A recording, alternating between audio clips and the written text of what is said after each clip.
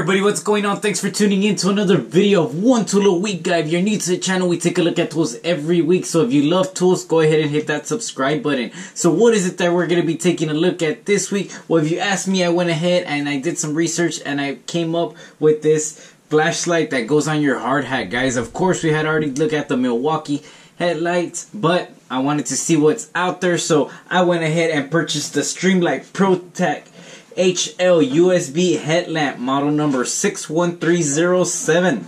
As you can tell, it comes in this little box right here. So let's go ahead and open it. Now what's going to be included? Of course, it's the instructions. Go ahead and put that to the side.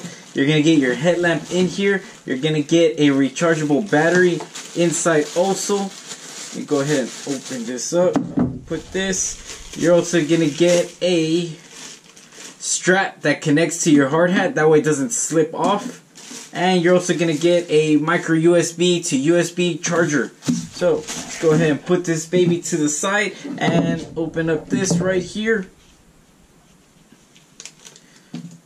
You're also to you're also to get a flood filter right here that comes on and off. Let's go ahead and show you. And you could just connect it right here to the side. And you're also to get uh, if you're hunt, if you're a hunter or if you're in tactical, military, any case whatsoever, you're gonna get a green filter and you're also gonna get a red filter. Hence the tactical flashlight.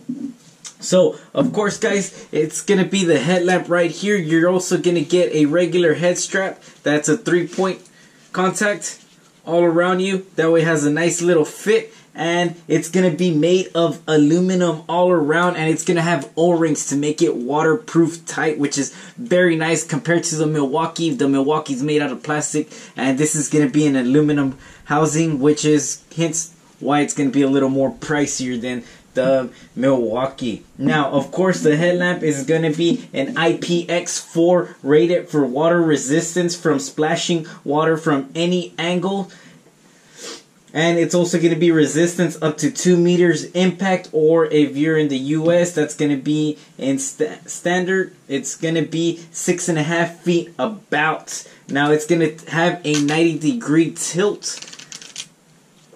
And it's going to hold in place right there. So 90 degrees all the way around. And the 90 degree tilt is to keep you from your neck fatiguing or cramping up in the back. Now it's to have the one-handed operation design. Your battery is going to go on the same side over here. Let's go ahead and open this up. And you have your one push button and you're to have your rechargeable battery that comes with it from Streamlight. So of course I'm a rechargeable person fan. I really don't like to carry batteries because just if you run out, you run out. The only downfall on a rechargeable battery is if you run out of batteries, you have to go and charge it, but it beats charging it instead of having battery packs all scattered all around. Now, that one push button is going to be multi-purpose, so let's go ahead and turn it on. So of course your first setting, as you can tell, it's going to be super bright. It's going to be really bright, guys. Our, that's going to be our highest setting, which is going to be 1000 lumens. Now it's going to last for about an hour and a half of continuous light as fully recharged. And it's good. And the beam is able to be seen up to 232 meters, which is about 761 feet, which is really neat, guys. It's crazy how bright it is compared to the other lights that I've had. Now, of course, for an hour and a half is not that much, so depends what you're going to be using it. Now, the button's going to be a multi-function push button right here, which it's going to be the 10 tap right here programmable. So of course, your first one, like I said, it's to be your head, your highest beam. So if you double tap it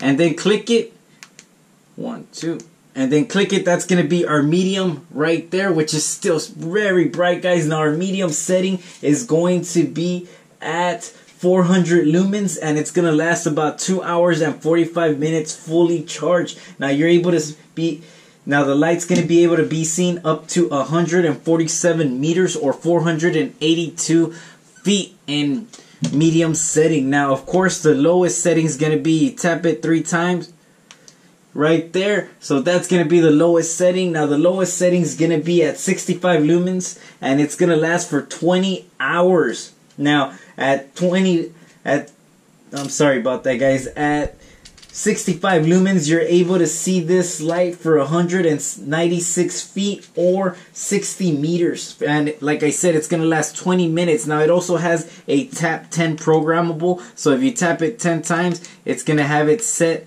at that at that parameter which is a very neat eh, but if you ask me I kind of would have wished if it was just click it three times and those were your settings. But of course be different and like I said it is gonna have a floodlight filter right there. So now what's gonna be the damage? It is a little comfortable and it is going to be made out of solid aluminum which I think it's pretty neat. It's a really nice headlamp that I really do like and I'm probably going to be using this instead of my Milwaukee just because it's a streamlight if you've never had a streamlight I consider them one of the best lights out there. But again, that is my opinion. So whatever y'all think, if y'all know of any other brands for headlamps to take a look at, go ahead and let me know, and I'll probably consider taking a look at it. So the price for on Amazon, you're gonna be able to find it for $81.18 and I forgot to mention the weight is going to be about 8.1 ounces so it's not going to be weighing that much but again like I said it's going to be made out of aluminum so it is a little biffier but of course that light is gonna do a huge difference with 1000 lumens as you can see super bright. So that's gonna be it guys a few things that I wanted to mention is I'm planning to do a video. Let me know if y'all prefer a $50 budget or a $100 budget Christmas gifts. That way I can give you ideas on that. So leave the comments leave the suggestions on the comments below and let me know what you think of the video. And as always thanks for watching. One tool a week guy